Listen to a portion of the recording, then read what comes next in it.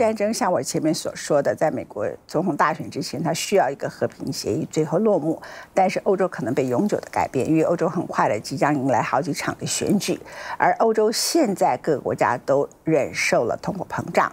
这个通货膨胀导致了右派的崛起，也导致了左派的罢工潮。按照统计，过去这段时间里头，整个欧洲人民实质他们的人民收入是下降了百分之六点五，但是它的粮食价格大涨了百分之十九点五，年轻的失业率也相当的高。这将成为整个欧洲政治一个光谱永久的改变。尽管这个战争现在。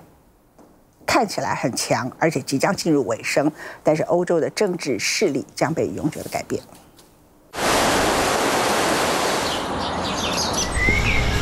都说冬天来了，春天还会远吗？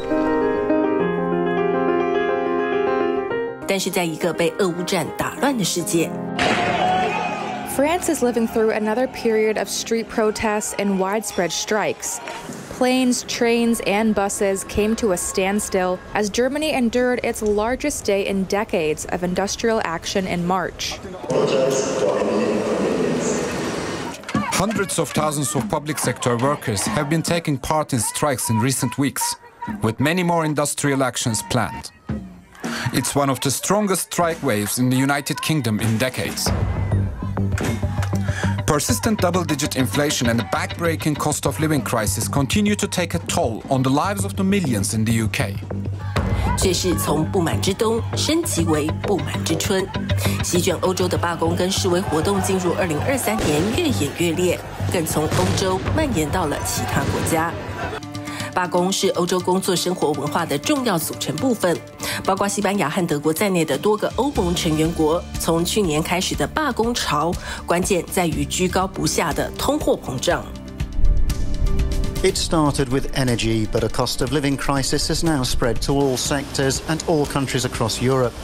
The problem has many components, but the one that really concerns political leaders and affects households the most is food price inflation.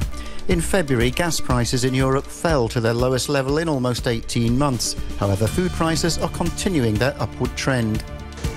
In January, food prices across the European Union rose by an average of 18.4% compared to a year ago.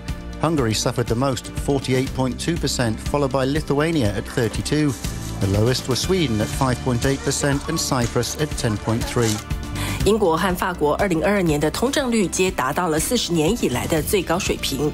根据世界经济论坛2023年全球风险报告，生活成本危机是最严重的短期全球风险。生活成本的急剧上涨，甚至会导致一些地方出现人道主义危机。 Higher food and energy prices have contributed to rampant inflation and continue to dent living standards in Europe as elsewhere, most especially for the lowest paid, according to Grégory Claeys from the Brussels based economic think tank Bruegel. If you're poor, generally the inflation that you face, the level of inflation that you face is actually higher because you spend more of your uh, your money on uh, on things that have uh, increased a lot, like energy, um, food, etc. 通膨怪兽吃掉民众薪资，偏偏又遇上解封后缺工、俄乌战争扰乱供应链等因素，员工们无可奈何，只能罢工，要求政府加薪。例如，德国两大运输工会 VRDI 要求加薪百分之十点五，EVG 希望加薪百分之十二。They say that there's a cost of living uh, problem here in Germany. We have seen inflation consistently above 8% since September, so costs are rising. And union bosses are saying that this is a matter of survival for their workers, so they really want more money.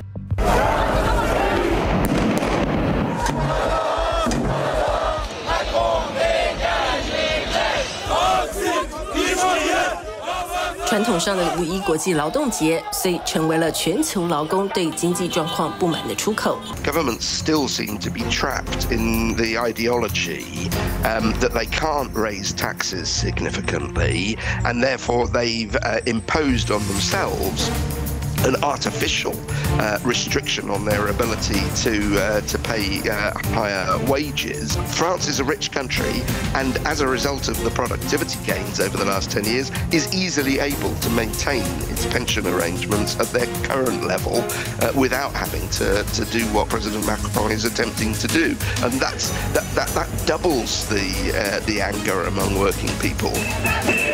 And that could mean more strikes in Germany and protests and walkouts in France.